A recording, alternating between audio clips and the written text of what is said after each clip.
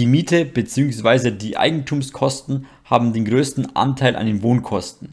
Deshalb habe ich fünf Tipps bzw. fünf Fragen für dich vorbereitet, um diese Kosten zu reduzieren.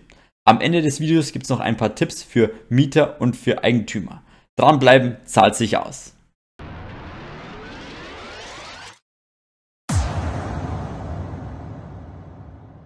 Ich bin Marek von Finanzen im Griff und wir starten gleich mit dem ersten und wichtigsten Tipp. Und zwar solltest du ausmisten. Überleg, was du wirklich brauchst und was nicht. Was du nicht benötigst, einfach wegschmeißen, spenden oder verkaufen. Wenn du es verkaufst, hast du natürlich den Vorteil, dass du gleich wieder Geld reinbekommst. Ich habe dir schon ein paar Sachen vorgestellt, wie du Sachen schnell verkaufen kannst. Und zwar Kleidung und äh, DVDs bzw. Bücher. Habe ich beides zu einem Video gemacht. Verlinke ich dir unten in der Videobeschreibung. Man weiß ja selbst, dass man sehr wenige Sachen wirklich benötigt jeden Tag. Manche braucht man nur wöchentlich und manche nur jährlich. Und wenn du es nur jährlich brauchst, kannst du vielleicht auch ausleihen, wo es dann wieder günstiger wäre, wenn man alles zusammen hochrechnet. Warum, das werden wir dann gleich sehen, weil ich habe da ein paar coole Sachen umgesetzt. Und jetzt gibt es hier noch ein Gesetz von Parkinson. Und zwar, dass sich die Arbeit ausdehnt auf die Zeit, die zur Verfügung steht. Das heißt, du hast acht Stunden Zeit und du hast Arbeit X zu tun. Das heißt, du brauchst auch acht Stunden. Wenn du jetzt aber nur sieben Stunden hast für die gleiche Arbeit, brauchst du auch nur diese sieben Stunden. Das heißt, wenn deine Wohnfläche jetzt größer ist, dann wirst du automatisch mehr kaufen, mehr Sachen äh, einlagern oder hinstellen, weil du ja mehr Platz hast. Hast du weniger Platz, wirst du dir überlegen, wie kannst du diesen Platz effektiver nutzen und somit auch äh, Platz einsparen. Und das ist ein ganz wichtiger Punkt, weil dadurch kannst du erst auch mal schon die Wohnfläche reduzieren, die du brauchst. Und ein paar andere Punkte sind auch noch wichtig für die Wohnfläche. Dazu kommen wir dann später. Ich habe hier noch ein paar Tipps in dem Video zusammengefasst. Hier gibt sechs Tipps für bewussten Konsum. Das heißt, dass du nicht später nochmal in die gleiche Falle tappst und wieder viele Sachen kaufst, sondern wirklich nur die Sachen, die du brauchst. Und habe da äh, schon ein Video gemacht, verlinke ich dir genauso unten in der Videobeschreibung. Dann kommen wir zum zweiten Tipp. Du solltest dir immer überlegen, wie viel Wohnraum du für die aktuelle Lebenssituation benötigst. Ich habe mal hier so ein kleines Bild gefunden, was ich ganz gut fand. Du bist ein Baby, brauchst eigentlich noch kein eigenes Zimmer, bist ein Kind, dann brauchst du schon ein eigenes Zimmer, dann wirst du erwachsen, ziehst aus in eine WG oder in eine kleine Wohnung, Danach hast du eine Partnerin oder einen Partner, ihr zieht zusammen, brauchst wieder mehr Wohnraum, dann bekommt sie Kinder, brauchst wieder mehr Wohnraum, weil das Kind eigenes Zimmer braucht, dann wirst du noch älter, die Kinder ziehen aus, das heißt, brauchst wieder weniger Wohnraum, weil ja die Kinder ausgezogen sind. Und wenn du noch älter wirst, könnte es sein, dass du zum Pflegefall wirst und dadurch wieder weniger Wohnraum benötigst, beziehungsweise dann Pflege benötigst. Das heißt, du brauchst zwar nur ein Zimmer, aber du brauchst natürlich extra Betreuung, die natürlich wesentlich teurer ist. Dazwischen ist noch zu sagen, dass wenn du dich scheiden lässt, natürlich dann auch wieder der Wohnraum sich verändert. Deswegen bin ich der Meinung, dass man mindestens drei bis fünf Mal umziehen muss im Leben, damit man die optimale Wohnfläche hat. Dadurch kannst du dir einiges an Geld sparen. Natürlich kostet der Umzug auch Geld, allerdings nicht so viel wie eine erhöhte Miete. Ich habe jetzt noch zwei Beispiele für dich. Ich habe über ein Jahr nach einer Wohnung gesucht, da ich einfach sehr hohe Ansprüche hatte. Ich wollte unbedingt ein recht neues Haus haben. Dieses Haus ist hier Baujahr 98 und äh, es sollte mindestens eine Garage haben. Und das war natürlich schwer zu finden. Und ich habe auch gemerkt, dass viele kleine Wohnungen ziemlich teuer sind und etwas größer, etwas günstiger. Und jetzt bin ich hier in einer Wohnung drin, die günstiger ist als die Nachbarwohnung, die aber kleiner ist, um, ich glaube, 10 Quadratmeter. Also schon ein großer Unterschied. Äh, und deswegen habe ich die größere genommen und habe auch gedacht, okay, vielleicht finde ich noch eine Partnerin und dann kann man hier zusammen einziehen. Also war der Gedanke schon da an das, den nächsten Lebensabschnitt, was ein Fehler ist. Das heißt, wenn du jetzt extra eine Wohnung nimmst, die ein bisschen größer ist, um später eventuell mit jemandem zusammenzuziehen, den du noch gar nicht kennst sozusagen, dann ist es ein Fehler und kostet meistens Geld. In meinem Fall hatte ich jetzt eher Glück gehabt scheinbar, dass es äh, günstiger war und ich immer noch die gleiche Miete habe. Also die haben die Miete seit 2015 nicht erhöht und das freut mich sehr. Also es ist echt eine super Sache und das wird nicht immer so sein, ganz klar. Das zweite Beispiel ist der Christian, der zusammen mit ein paar anderen Familienmitgliedern ein Haus geerbt bekommen und er ist der Einzige, der in dem Haus wohnt. Das heißt, er hat eine Riesenfläche für sich alleine, was er nicht braucht. Der emotionale Wert vom Haus ist natürlich sehr groß, allerdings sind die Kosten auch sehr hoch. Deswegen muss man überlegen, ob man darin wohnen bleibt. Das ist eh klar. Genau. Dann kommen wir jetzt zum dritten Tipp und zwar ungenutzte Flächen vermieten. Das heißt jetzt, wenn du ausgemistet hast, dann hast du ja sicherlich einiges an Platz. Ist die Frage natürlich, wo du Platz hast. Ob das der Keller ist oder ob du vielleicht sogar einen Stellplatz frei bekommen hast, so wie ich. Ich habe halt beides vermietet. Mein Keller äh, bekomme ich jetzt aktuell jeden Monat 30 Euro und mein Stellplatz 60 Euro, weil ich es einfach nicht brauche. Ich habe einfach den Keller voll gelassen, habe ein Foto gemacht und äh, es einfach mal online gestellt, ob überhaupt jemand Interesse hat. Wenn keiner Interesse hat, würde ich es einfach drin lassen und äh, hätte nicht ausgemistet. Also ich habe dann nochmal einige Sachen wegschmeißen können und bin jetzt froh, dass der Keller nicht mehr mir gehört sozusagen und mir einfach ein bisschen Geld einbringt. Das kannst du als Mieter und als Eigentümer machen. Äh, als Mieter musst du unbedingt den Vermieter fragen und natürlich auch einen Vertrag aufsetzen, würde ich dir empfehlen. Äh, Wie es genau mit der Steuer abläuft und so weiter, werde ich noch in einem eigenen Video machen, weil ich äh, noch die Steuererklärung machen muss. Und dann schauen wir mal, wie das genau alles abläuft und was ich dann äh, an Steuern noch zahlen muss von, der, von den Mieteinnahmen. Nachdem mein Keller vermietet war, ist mir eine ganz wichtige Frage eingefallen, die ich mir schon viel früher hätte stellen sollen. Deswegen stelle ich dir jetzt diese Frage. All diese Sachen, die du im Keller hast, ist es wert, dass du dafür 30 Euro im Monat ausgibst oder 40 Euro, je nachdem, wie groß dein Keller ist? Das ist die wichtigste Frage, weil überleg mal, wenn du jetzt diese Einnahme nicht hast, die ich jetzt habe, diese 30 Euro, dann heißt es ja eigentlich nur, dass du jetzt sozusagen 30 Euro bezahlst dafür, dass die Sachen in deinem Keller drin sind.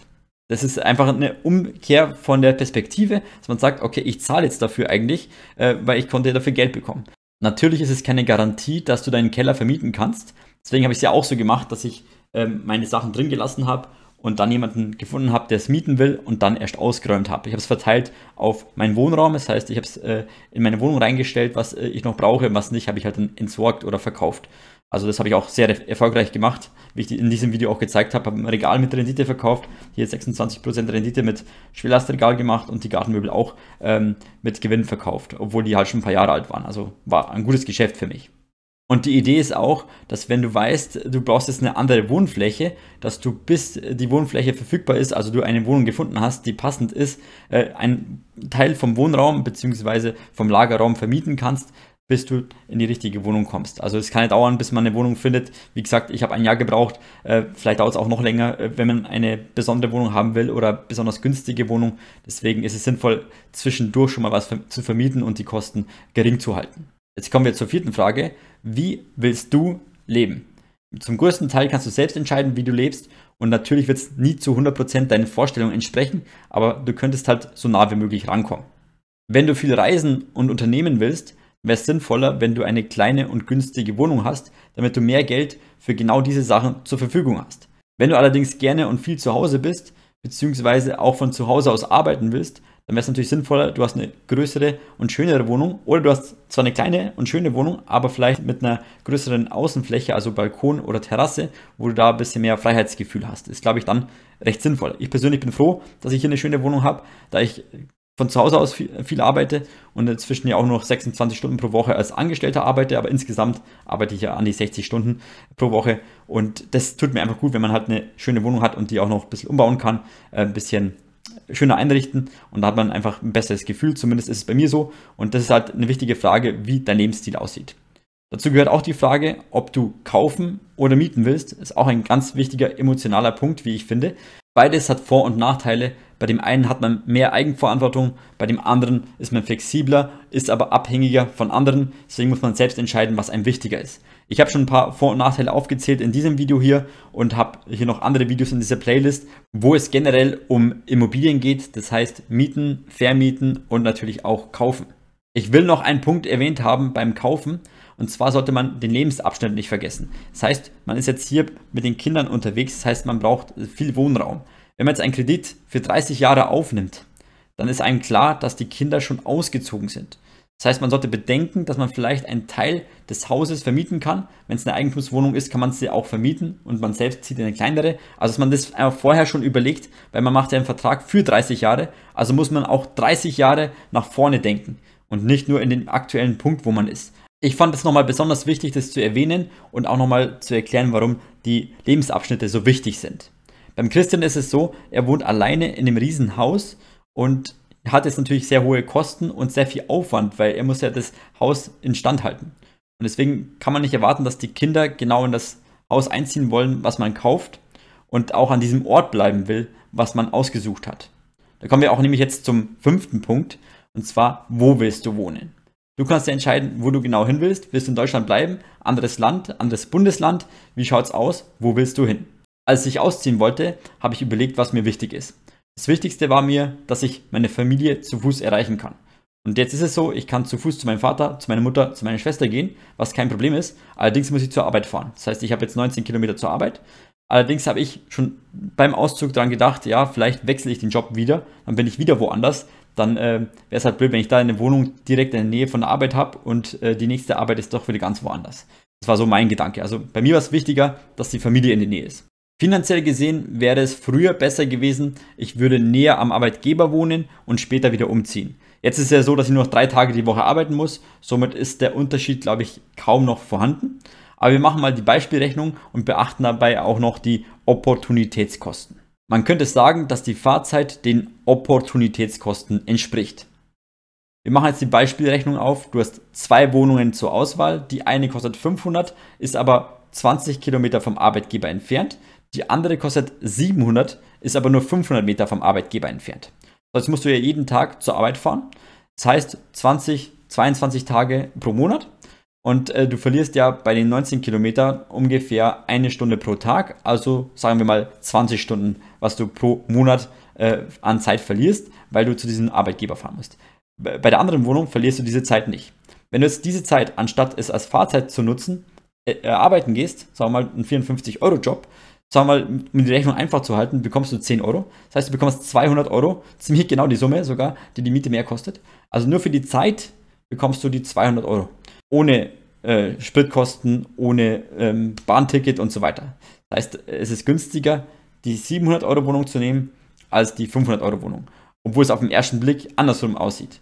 Das ist ein ganz, ganz wichtiger Punkt, weil die, die, die Zeit wird sehr oft vergessen. Man rechnet oft die, die Fahrtkosten, aber die Fahrzeit wird sehr oft äh, missachtet. Deswegen wollte ich es extra nochmal hier erwähnt haben, beziehungsweise ausführlich erklären. Ich hoffe, es ist verständlich rübergekommen. Wenn nicht, dann äh, schreibt es mir unten in die Kommentare. Dann mache ich vielleicht ein eigenes Video dazu, beziehungsweise wollte ich sowieso machen zu den Opportunitätskosten. Das ist ein ganz wichtiges Thema, was ich persönlich auch ähm, sehr vernachlässigt habe und immer noch ja, zum großen Teil mache. So, jetzt haben wir die fünf wichtigsten Punkte durch. Zuerst musst du ausmisten und überlegen, was du wirklich brauchst. Dann überlegst du, wie viel Wohnraum du für die aktuelle Lebenssituation benötigst, dann weißt du ja, wie viel Wohnraum du brauchst und hast vielleicht noch ein bisschen Wohnraum oder Lagerraum zur Verfügung und kannst das vermieten. Kannst auch nur einen Raum vermieten bei Airbnb, also ist sehr viel möglich. Dann musst du überlegen, was für einen Lebensstil willst du haben. Willst du viel reisen, also bist du wenig daheim oder bist du viel daheim und kannst dadurch entscheiden, welche Wohnung du dann genau haben willst und wo willst du wohnen. Willst du in Deutschland bleiben, anderes Bundesland, anderes Land, ähm, willst du nah am Arbeitgeber wohnen, willst du vielleicht dich selbstständig machen und von daheim aus arbeiten. Das sind ganz viele Fragen, die du stellen solltest. Ja, das wären ganz viele wichtige Punkte. Ich hoffe, dass du da schon einiges mitnehmen konntest. Und jetzt kommen wir einfach zu den paar Tipps, die ich noch habe für Mieter und dann für Vermieter. Fangen wir mit dem Mieter an. Das allererste ist, dass ich dir empfehlen würde, dich bei einer Baugenossenschaft anzumelden, weil es da richtig günstige Wohnungen gibt. Ich habe mal gehört, dass äh, bei manchen muss man äh, den Boden wischen, äh, einmal die Woche oder so. Ich persönlich würde es dann machen für den Preis, den man da bekommt. Also ich habe jetzt hier mal ein Beispiel, das habe ich bekommen. Ich bin natürlich angemeldet und wollte eine kleinere Wohnung haben und man sieht hier sind es 62,8 Quadratmeter, ist mir zu viel, aber die Kaltmiete 315. Ich zahle aktuell 420. Wenn natürlich noch meine, meine Mieteinnahmen von Keller und von äh, Stellplatz abziehen würde, was ungerecht wäre, weil hier ist nämlich auch noch ein Keller vorhanden, dann äh, wäre ich halt ungefähr 50 Euro teurer. Also es ist nicht ganz so viel Unterschied. Äh, Quadratmeter sind auch ziemlich gleich. Ähm, aber gut, wie gesagt, ich kann hier eben auch noch einen Dachbodenabteil vermieten, weil der ist auch noch dabei. Ein Balkon ist dabei, eine Diele. Also man hat wirklich viele Sachen. Ein einziger Nachteil vielleicht, man muss Geschäftsanteile kaufen. Dafür hat man den Vorteil, dass äh, die keinen Eigenbedarf anmelden. Das heißt, du bist sozusagen so sicher wie äh, Eigentum, aber hast nicht die Verpflichtungen und nicht den Kapitaleinsatz.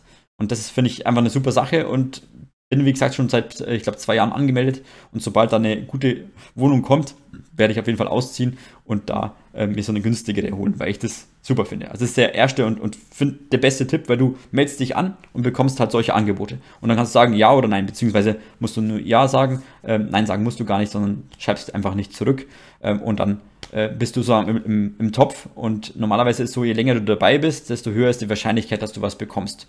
Und ja, das finde ich einfach eine super Sache. Der nächste Punkt ist natürlich, dass du deinen Keller, deinen Stellplatz und auch ein Zimmer vermieten kannst bei Airbnb. Das ist natürlich Geschmackssache. Dann könntest du noch einen Arbeitsplatz einrichten, wenn du halt einen verschlossenen Raum hast. Soweit ich weiß, braucht man eine Tür. Ich habe jetzt hier nur einen Tisch in meinem Wohnzimmer stehen und dadurch kann ich das bei der Steuer nicht absetzen. Und wenn du natürlich zu Hause arbeitest, ist es sinnvoll, sich so ein Arbeitszimmer einzurichten, äh, um damit einfach wieder Steuern zu sparen. Meine, wenn du jetzt natürlich eine mega Ausrüstung kaufen musst und der Arbeitgeber zahlt dir das nicht oder bist halt selbstständig, ist natürlich ein bisschen nachteilig, aber im Großen und Ganzen kannst du da von den Steuern dir was zurückholen. Dann kannst du natürlich alle Fenster abdichten. Äh, Habe ich jetzt vor kurzem gemacht. Äh, das sind doch ganz schön alte Dichtungen drin. Ist ja klar, die sind ja schon über 20 Jahre alt. Äh, ist kein Wunder, dass die nicht mehr so gut abdichten. Und das war, glaube ich, ganz sinnvolle Entscheidung. Dann gibt es noch die Option, dass du dir ein Balkonkraftwerk zulegst. Das habe ich selbst auch gemacht, habe auch schon ein Video gemacht, wie das funktioniert und mein Erfahrungsbericht findest du auch. Ähm, leider bei mir nicht so gut, weil die, die Eigentümer nicht einverstanden sind, dass man äh, am Balkon was draußen hinhängt und deswegen darf ich das leider nicht und habe somit weniger Ertrag. Auf im Prinzip, wenn es möglich ist, kannst du dir ein, zwei, sogar auch drei Platten äh, bei dir hinhängen und an die Steckdose anschließen und schon bekommst du Strom und kannst da Geld sparen. Das waren jetzt meine besten Tipps für Mieter. Du kannst gern deine besten Tipps unten in die Kommentare reinschreiben. Würde mich sehr freuen. Jetzt kommen wir zu den Tipps für Eigentümer. Du kannst erstmal alles vermieten, was möglich ist. Im Endeffekt Keller, Dachboden. Du kannst dein Dach sogar vermieten. Einerseits für einen Funkmasten, andererseits auch für Solar, soweit ich weiß, gibt es da auch einige Optionen. Deine Wände kannst du für Werbung vermieten, genau wie die Zäune. Also du kannst wirklich viel vermieten an deinem Haus, äh, was dir extra Geld bringt. Muss halt das rauspicken, was dir am besten gefällt. Ganz wichtig. Du kannst auch Mietflächen schaffen. Ein Strebergarten, ein Stellplatz, eine Garage, eine Lagerbox kannst du dir hinstellen und die dann eben vermieten. Also da hast du echt sehr viele Optionen als Eigentümer. Du kannst auch mehr autark sein, indem du eine PV-Anlage mit Speicher hast, äh, dein Wasser reinigen lässt und es wiederverwendest, zum Beispiel nur für die Klospülung. Also gibt es sehr viele Optionen, die man hat und die man auch umsetzen sollte. Als Bonus kann ich dir nur dieses Video empfehlen von mir und dem Kostenoptimierer. Da haben wir dir gezeigt, wie du aus Verbindlichkeiten, also aus Kosten, Vermögenswerte schaffen kannst, also Einnahmen. Das ist eine richtig coole Sache. Zum Beispiel kannst du dein Auto vermieten, deine Kamera, äh, einen Holzspalter und so weiter. Also man hat sehr, sehr viele Optionen, die man machen kann. Und äh, da kannst du auf jeden Fall viel Geld sparen, sogar auch noch mehr Geld einnehmen, als du ausgeben musst. Also das ist wirklich eine richtig coole Sache. Und ich hoffe, dass du jetzt einiges mitnehmen konntest in diesem Video und wünsche dir viel Erfolg beim Umsetzen. Wenn du persönliche Unterstützung für deine Finanzen brauchst, dann empfehle ich dir das Finanzgutachten von Marco und für mehr Geld und mehr Freiheit abonniere jetzt kostenlos meinen Kanal. Aber denk immer dran, machen ist wie wollen, nur krasser.